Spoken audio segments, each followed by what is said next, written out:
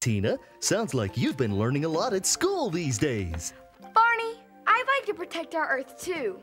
What are some things that we could do? Oh, I bet you can think of lots of things.